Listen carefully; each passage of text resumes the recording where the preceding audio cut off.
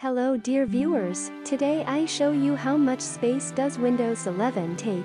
The space required for Windows 11 likely be similar to Windows 10, if not slightly larger, due to potential new features and improvements. A clean installation of Windows 10 typically required around 20 to 30 GB of storage space for the 64-bit version, therefore, it's reasonable to expect that Windows 11 would have similar minimum storage requirements. First go to this PC, and here show 2 drive in my computer. In C drive actually the windows are located. I have right click and go to properties.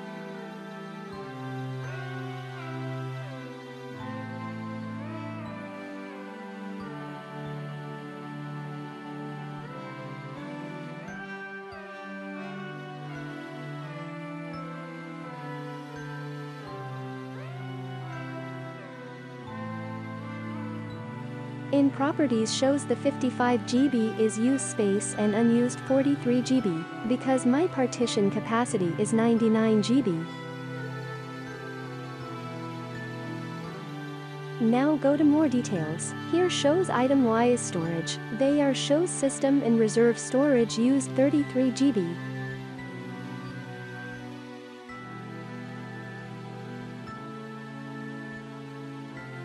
Installed apps use 13.70, documents used 5.58 GB, and other 2.09 GB, and desktop 616 MB.